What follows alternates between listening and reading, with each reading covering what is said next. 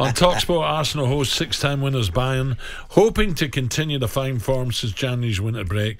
When Mikel Arteta was famously uh, fed a steak by celebrity sh- uh, chef Salt Bae. Uh, by the way, I, I, was looking at M- Mikel again on the telly. He's so relaxed compared to a know, few months ago. I think that's a very good point, Al. I think he's as composed and as sort of calm. I mean, look, he's always he's he's always in that technical area, and he ain't never far away from from uh, from going crazy. But I just think right now it's as calm and as composed as I've seen him when uh, on match day. Yeah. Um, honestly, because there have been times on match day when he's oh.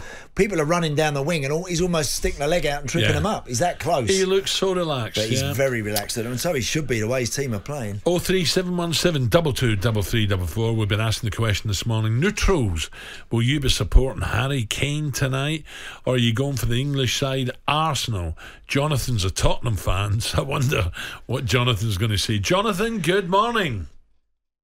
Good morning, Talksport. Great show as always. Good man, good man. What about tonight then? What about uh, two blockbusters? Uh, tonight, yeah, tonight is an absolute head melter. absolute head melter. Obviously, we really need the English clubs to do well. As a Tottenham fan, we need the coefficient to get making sure we can get into the Champions League.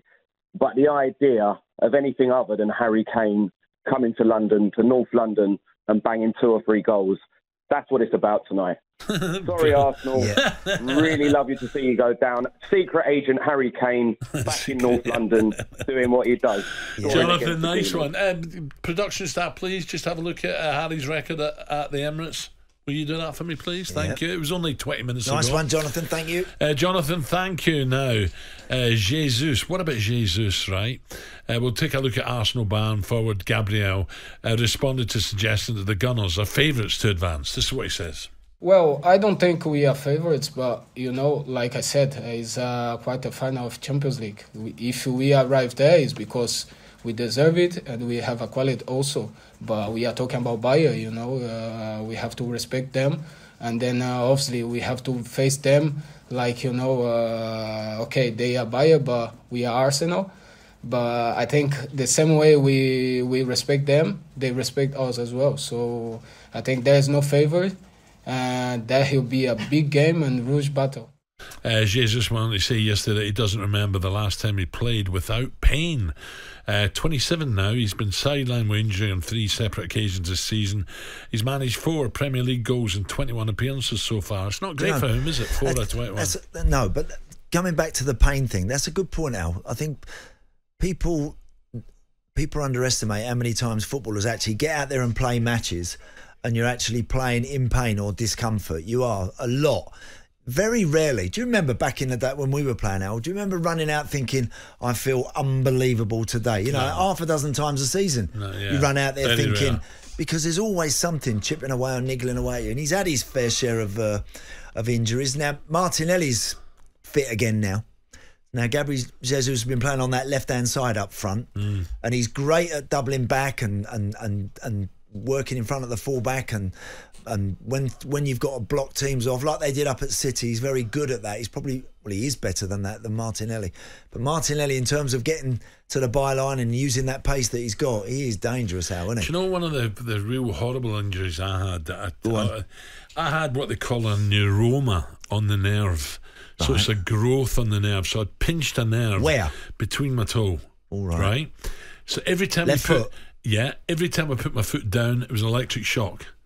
Well, that's right? like that plantar fasciitis oh, underneath. And it got worse and worse. So that's what horrible. they used to do was two minutes before you ran out, or a minute before jab. you ran out, jab. Jab in it, yeah. Bang, straight in. Yeah. But the jab, and then have another one at half time but it never lasted. No. So the last five minutes, you're, scared to put your foot down. No, it's horrible. It is. Oh. When you're having to, when you're, and look, there are times in your career where you don't want to miss out on the big games. You're happy to, to uh, look. Nowadays, it's frowned upon, and nowadays oh, because Ali, of the size uh, of the squad. I spoke to Ali about it. You know, um, many times when you you were 50 yeah. 50, cortisone, yeah, bang yeah, it in there, yeah, get it in there, get it in there, because you want to be. You, you listen. You know, you want to be part of it, and we're at that stage of the season when particularly for these Arsenal boys and, and the and the City Liverpool players, they're all going for the big pots. They all want to be playing. Also, uh, you, you, were also scared, Andy, of losing your place, losing your bonus. You that's needed the it. money. Well, that's true. That's there's all of those factors which didn't make it right, but but they were justifiable reasons why talk, we talk did what that. we did. You were telling me a little bit Beckham's uh, contract. Yeah, there was something in there today about David Beckham's first contract going up for auction, and apparently it's, it's expected to fetch something like ten grand or something, amongst a number of other ones. And it says his first one was twenty nine ninety five a week. Wow. I used to get 14, 16 quid, then 55 quid.